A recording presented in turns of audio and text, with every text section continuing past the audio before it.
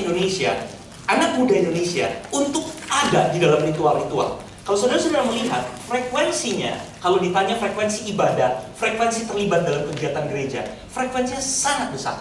Kalau kita melihat frekuensi ibadah saja, mereka yang datang setiap minggu sampai beberapa kali seminggu 69,3 persen. Kalau kita terus selalu mengatakan anak muda tidak ada di gereja, saya selalu mengatakan tidak ada di gereja Anda, tapi pindah ke gereja lain mereka ada, mereka pergi ke gereja masih sangat senang. Ini situasi khas di Indonesia, situasi yang beda. Gak bisa kita bilang seperti teman-teman di Eropa yang selalu bicara tentang declining uh, anggota-anggota gereja yang menurun. Di Indonesia kita berbicara tentang orang-orang yang masih animonya luar biasa pergi ke gereja. Pertanyaannya, bagaimana kualitas mereka berbicara tentang gereja? Kalau di jumlah-jumlah ini, ini semuanya jumlahnya lebih dari 80%. Hanya 0,9% yang tidak pernah mengatakan tidak pernah ini salah satunya Pak Ando.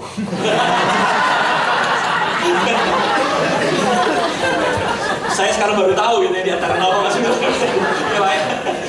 Eh bukan bukan hanya itu, saya suka joke di kelas 0,9% ini mahasiswa teologi. Biasanya begitu masuk sekolah teologi langsung nggak ke gereja lagi. Nanti baru ke gereja lagi pas mau praktek. Nah udah mau praktek sibuk ke gereja lagi supaya mulai menyadarkan diri.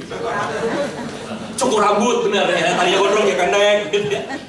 Kalau kita ngomong tentang frekuensi terlibat dalam kegiatan agama, angkanya memang sedikit mulai berubah. Kegiatan dalam frekuensi kegiatan agama tidak bersifat hanya ritual. Di situ ada pengajaran, ya, ada ada sesuatu yang berubah, termasuk mungkin pelayanan-pelayanan. Dan dan ini menarik ketika sedikit berubah, karena kegiatan gereja orang mulai memikirkan, mulai berubah, mulai mulai melihat kesediaannya. Yang paling besar angkanya ada pada 43,9 persen kadang-kadang. Kadang-kadang masih loh dia masih mau. Kalau kita bisa menjumlahkannya dengan beberapa kali sebulan dan beberapa kali seminggu, bahkan yang setiap hari, saya tidak tahu apa yang dia lakukan setiap hari di gereja, tetapi kita kategorikan ini sebagai kesediaan orang untuk melakukan tindakan aktivitas gerejawi, angka ini masih sangat besar, saudara. Masih 80%, hanya 12,8% yang sama sekali tidak. Jadi aktivitas, saya menyebutnya aktivitas keagamaan, ritual, sangat kuat. Seperti yang tadi sudah dikatakan berkali-kali, ritual sangat kuat.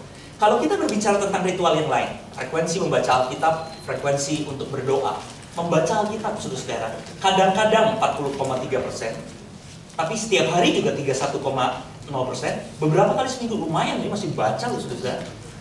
Dan ini jumlahnya 90 persen, hanya satu persen yang tidak berdoa.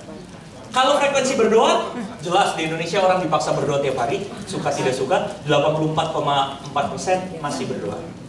Saudara kalau kita ngomong ini semuanya uh, ada di dalam situasi yang sangat kuat gitu ya. Jadi animo, semangat masuk dalam ritual. Nah, uh, saya mencoba untuk mengajak kita untuk melihat ketika agama lalu dilihat lebih jauh uh, dengan konsep di mana apa peran agama untuk dirinya dan angkanya juga masih tetap baik. Saudara-saudara, ini pakai skala sikap min nilai tengah 4,4,3 dari skala 1 sampai 5. Jadi 1 sangat tidak setuju, 5 sangat setuju, maka 4 atau 3, sekian ada di tengah ke kanan. Dan kalau kita melihat 4,29, 4,26 adalah angka persetujuan. Ya, bahwa agama masih berpengaruh untuk hidupnya. Agama masih berpengaruh untuk dia mengambil keputusan-keputusan. Situasi agak sedikit berubah ketika ditanya hidup saya berbeda dengan memeluk agama saya. Saya punya interpretasi yang banyak pada soal ini, tapi saya akan skip saja dulu karena hal yang ini saja juga masih sangat besar. Ya, mereka masih melihat bagaimana agama begitu rupa. Kalau Pak Handoko tadi terus-terusan mengatakan ini kesempatan loh gereja untuk do something. Gereja melakukan sesuatu yang baik. Saya rasa ini bukan omong kosong. Kalau kita merasa pesimis, ah siapa yang akan melakukan? Saudara-saudara, mari kita pastikan bahwa statistik ini paling tidak memperlihatkan satu bagian. Selalu ada kemungkinan interpretasi dan data lain, tapi ada satu celah di mana orang masih melihat agama, anak muda masih melihat agama sebagai sesuatu yang penting untuk hidupnya. Jadi kalau kita udah kadang-kadang gereja persoalannya udah mulai dengan pesimis, ah ya sudahlah, ini hanya bisa dilakukan oleh orang-orang yang idealis, orang-orang tertentu. Tidak, ini anak muda ngomong. Hanya tinggal gimana kita menyetel. Gitu ya, kira-kira. Kita setel program kita. Kita setel cara berpikir kita. Dan kalau kita bisa nyetel, barangkali kita bisa gerak luar biasa. saya selalu ingat Bu Tabita misalnya berkali-kali mengatakan generasi milenial adalah generasi yang paling siap dengan pluralitas, selalu siap dengan ide-ide baru. Justru kita bisa gerakin banyak orang. Saya udah berkali-kali bikin kesaksian anak saya yang kedua, SMP kelas 3, dia adalah orang yang paling marah kalau istri saya lupa bawa tas belanja ke supermarket. Dia selalu mengatakan pakai plastik lagi. Itu bukan isunya orang tua tuh kita ini mungkin nggak peduli mau pakai plastik berapa kali banyaknya. Anak-anak muda ini yang belajar dan dia terus yang mengingatkan kita. Dan itu adalah sebuah isu yang menarik jikalau bisa diintegrasikan dengan dengan dengan konsep iman. Jadi bukan dilihat secara terpisah. Nah, tapi sekarang pertanyaannya, kalau mereka merasa agama begitu penting, pertanyaannya adalah agama itu penting hanya untuk dirinya atau mampu membuat dia melihatnya dengan cara yang lebih besar dan ini adalah sesuatu yang lalu di, diperiksa lebih jauh, ya saudara-saudara. Nah, uh, frekuensi-frekuensi yang tadi itu ritual-ritual, sekarang kita mau mencoba untuk melihatnya dalam hubungannya dengan agama berpengaruh atau tidak bagi dirinya. Saudara-saudara, uh, angka-angka yang saya tebalkan itu adalah angka yang menunjukkan bahwa ada korelasi, korelasi atau asosiasi Korelasi atau asosiasi itu berbicara tentang bahwa ketika dia berpikir tentang satu hal, dia setuju pada hal yang lain. Ketika dia hadir di sini, dia setuju dengan ide-ide ini. Itu korelasi namanya. Ya, yang tebal itu adalah ada korelasi. Saudara-saudara kita bersyukur bahwa ada korelasi. Frekuensi datang dalam ibadah dengan bahwa mereka melihat agama mereka penting untuk hidup mereka, berpengaruh untuk hidup mereka, melihat bahwa agama itu bisa menolong mereka untuk mengambil keputusan, ada hubungannya, ada korelasi. Makin sering mereka pergi ke gereja, makin sering mereka pergi dalam kegiatan-kegiatan gereja, makin sering mereka berdoa, mereka melihat dan setuju agama penting untuk ini. Tetapi, saudara-saudara, catatan saya adalah bahwa angka korelasi ini tidak gede, tipis. Secara statistik harusnya mestinya di atas 0,20.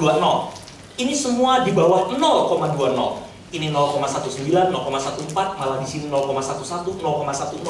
Artinya ada korelasi, tapi nggak kuat. Bahwa mereka pergi ke gereja, mereka lalu mulai berpikir agama penting, ternyata tidak tidak mempunyai hubungan yang kuat. Ritual-ritual ini justru tidak menolong mereka untuk membayangkan dan memahami tentang peran agama. Jadi berarti mereka mendapatkan pemahaman tentang agama berperan penting dalam dirinya, jangan-jangan dari variabel yang lain gitu loh. Ya bukan dari ritual gereja yang tadi tuh yang 80-90% orang pasti datangin rame-rame. Saya mengatakan di dalam makalah saya seperti sedikit mulai ada pemisahan antara ritual yang dilakukan sebagai rutinitas agama gerejawi dengan bagaimana dia mengaitkannya pada bagaimana agama berperan di dalam dirinya. Jadi ritual dan peran agama tidak terlalu tidak terlalu punya ikatan yang bagus. Korelasi yang baik, saya berharap hipotesis saya di atas 0,25. Hasilnya adalah sangat rendah, sangat lemah. Hal ini menjadi sangat menjadi sangat uh, saya lewatin saja ya diagramnya. Ini ini tadi saya menggambarkan. Jadi frekuensi ini dia mempunyai hubungan ke sini. Ada korelasinya. Tapi angkanya plusnya tidak terlalu besar. Hasil yang ini semakin menjadi persoalan jikalau sekarang kita saya ajak untuk melihat frekuensi dalam ibadah atau ritual-ritual dengan bagaimana mereka melihat persoalan-persoalan dalam masyarakat. Kata-katanya Pak Handoko hanya bisa menggerakkan orang gereja jikalau melihat bahwa persoalan konflik tanah adalah sesuatu yang terikat dengan bagaimana dia berpikir tentang agama. Ngomong tentang bagaimana mendaya gunakan uh, alam energi terbarukan dan segala macam hal itu hanya bisa muncul di dalam gereja jikalau ada kaitan, ada asosiasi dengan pembicaraan di dalam gereja. Kalau gereja tidak bicara itu, atau gereja bicara itu tetapi basa-basi, jadi gereja bicara tentang itu hanya tema-tema dalam seremoni-seremoni tertentu yang beberapa bulan kemudian dilupakan, ganti lagi tema yang lain dan dibombardir dengan begitu banyak tema di dalam gereja. Lalu kita tidak pernah fokus dan serius bergerak pada satu hal saya rasa kita hanya akan melihat itu sebagai seremoni, seperti yang saya katakan. Seremoni bulan keluarga baru saja lewat, nanti seremoni hari dunia, hari bumi lewat, seremoni lagi hari perdamaian lewat semua ada upacara-upacara tontonan-tontonan di dalam gereja tapi nggak pernah membuat ada orang seperti di dalam gereja yang seperti Pandokan jangan-jangan gitu lalu kita nggak ketemu orang-orang yang punya idealisme dan bergerak pelayanan uh, sangat serius di lapangan seperti Romo Teguh misalnya Saudara, kalau kita melihat ini, ini persoalan-persoalan memang saya tidak bisa memeriksa semua dalam keterbatasan variabel, tetapi ini jadi potretnya. Saya mencoba untuk melihat persoalan kesempatan kerja. Itu persoalan di Indonesia. Orang nggak bisa dapat kerja dengan mudah paling tidak nggak semua orang. Tadi petani-petani bilang, saya nggak punya saya nggak bisa dapat. Penyalahgunaan kekuasaan itu isu. Segregasi di dalam pendidikan. Sekarang di Yogyakarta sudah berkali-kali dan beberapa orang Jogja tahu itu sekolah negeri bikin segregasi berdasarkan agama. Public school, di mana kalau dulu saya sekolah di sekolah negeri SMA, saya tahu bahwa di sekolah negeri kita tidak dibedakan atasan uh, berdasarkan agama. Beda